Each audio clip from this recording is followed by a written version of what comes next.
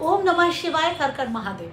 देव गुरु बृहस्पति अगर लगन में बैठ जाए तो कहते हैं बहुत सारे दोषों को अपने आप ही ठीक कर देते हैं। और देवगुरु बृहस्पति की जहाँ भी दृष्टि पड़ती है, वो बहुत सारी समस्याओं को सॉल्व कर देते हैं, आशीर्वाद ले लेते हैं। अब मैं इसी चीज़ पे ही वीडियो बना रही हूँ कि आखिर देव गुरु बृहस्पति लगन में बैठ के क्या करते हैं, वो ऐसी क्या एनर्जी दे देते हैं, जो कि बहुत सारी प्रॉब्लम्स को हम सॉल्व करने वाले बन जाते हैं। देवगुरु किन चीज़ों से जुड़े हुए हैं? परोपकार से, संस्कारों से, लोगों की भलाई खुशियाँ, पैसा, इन चीज़ों से जुड़े हुए हैं। अगर लगन में किसी की भी कुंडली में देवगुरु बृहस्पति बैठ जाएँगे तो इसका मतलब वो व्यक्ति लोगों की भलाई करने वाला होगा, अच्छाई करने वाला होगा, वो खुश रहेगा, हमेशा आशावादी रहेगा, लोगों के बारे में अच्छा सोचेगा, उसके मन में जो कुविचार, जलन, कुड़न नहीं होगी। और लोगों के बारे में अपने आप को गुरु वाली पोजिशन में रखेगा, संतान मान के हर एक के लिए कुछ कर देगा, नहीं, इसके लिए भी कुछ कर दे जो व्यक्ति ऐसा होगा, क्या उसके जीवन में कोई समस्या आ सकती है, कभी भी नहीं आ सकती।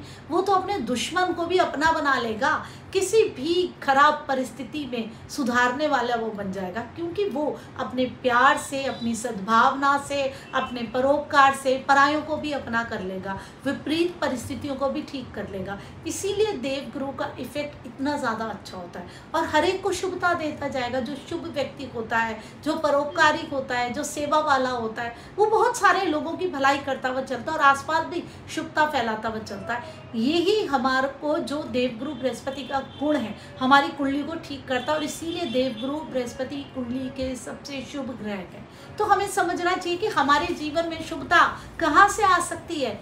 लोगों की भलाई करके, परोपकार करके, सच्चाई से और लोगों के बारे में अच्छा सोच के। दूसरों के बारे में भी करुणा रख के दूसरों के बारे में भी प्रेम रख। के अगर हम ये भावनाएँ अपने अंदर लेकर के आएँगे तो स्वयं हमारे बहुत सारे कर्म ठीक होने लग जाएँगे, हमारी कुंडली ठीक होने लग जाएगी। हम जो ये ज्योतिष करते हैं ना सिर्फ़ इसलिए नहीं करते हैं कि आपको इन ग्रहों के बारे में बता दिया कि ऐसा है, ये हर ग्रह अलग अलग एनर्जी से जुड़ा हुआ है। देवगुरु, बृहस्पति, इन एनर्जी से जुड़े हुए अगर हमारी कुंडली में इसमें कोई प्रॉब्लम आ रही है तो हमें अपनी इन एनर्जीज को डेवलप करना पड़ेगा।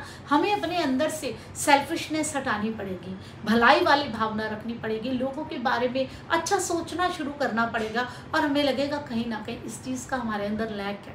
हम पहले अपना देखते हैं, फिर हम किसी और का सोच रहे हैं। जब हम अपना ना सोच के, पहले दूसरों का सोचेंगे ऑटोमेटिक हमारी चीज़ें सॉल्व होने लगेंगी।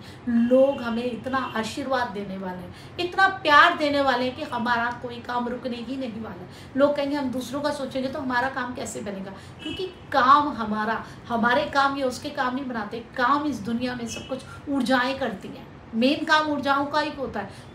जब हम कुछ अच्छा करेंगे तो अच्छी ऊर्जा हमारे कामों से पैदा होगी। और उस व्यक्ति के अंदर से हमारे लिए आशीर्वाद, प्यार, सारी ऐसी अच्छी अच्छी भावनाएँ निकलेंगी तो हमारा कोई भी काम कैसे रुकेगा?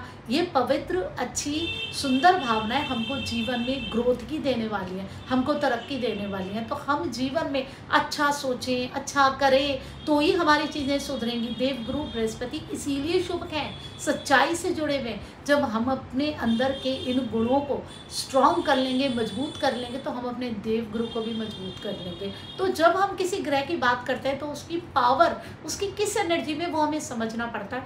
और अगर हमें वो वीक लग रही है अपने अंदर तो हमें ठीक करना होता है। उम्मीद करती हूँ देवगुरु बृहस्पति से जुड़ी हुई जो मैंने आपको बात बताई वो आपको समझ में आई होगी।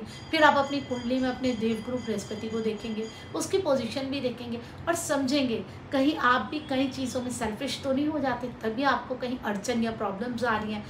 गहराई से समझिए ज्योतिष को, ताकि आप अपनी लाइफ में बेटर चीज़ों को ले सकें, क्योंकि ज्योतिष हम इसी के लिए करते हैं। आपको उलझाने के लिए नहीं कर रहे, आपको सही रास्ते मिल सके, आप सही तरीके से खुद को, अपने जीवन को समझ सकें।